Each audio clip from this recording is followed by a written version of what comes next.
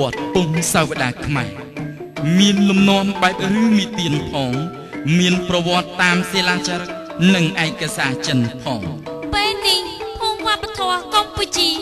សូមដកស្រង់លើកយកប្រវត្តិតាមសិលាចារឹកនាសម័យមហានគរនៅពាក់កណ្ដាលសតវត្សទី12និងដើមសតវត្សទី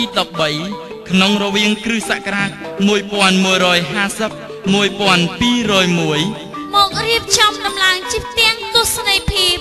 ជូនទស្សនាកំសាន្ត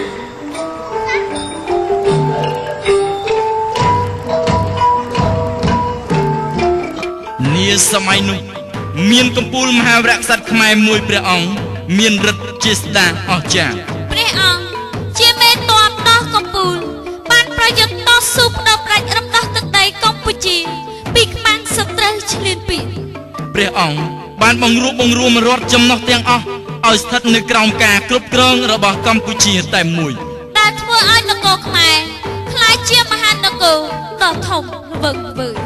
លើពីនោះទៅទៀតព្រះអង្គជាស្ដេចដ៏ចំណាន ក្នុងការគ្រប់គ្រង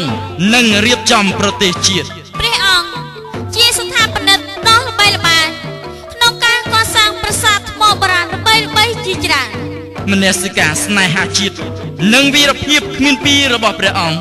បានធ្វើឲ្យកូនខ្មែរគ្រប់រូបគ្រប់ចំនួនស្ញប់ស្ញែងនិងគោរព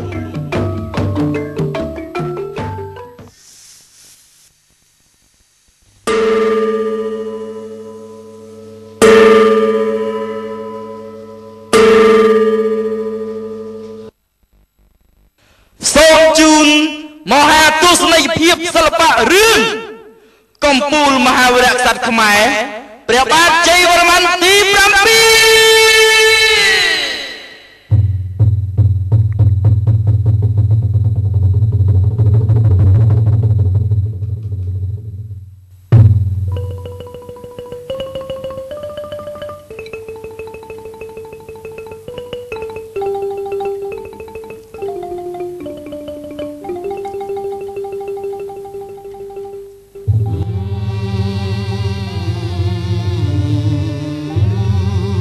បាទជ័យវរ្ម័នទី7នាមដើមជ័យធុនប្រសូតក្នុងរវាងឆ្នាំ1120 1125ព្រះបិតា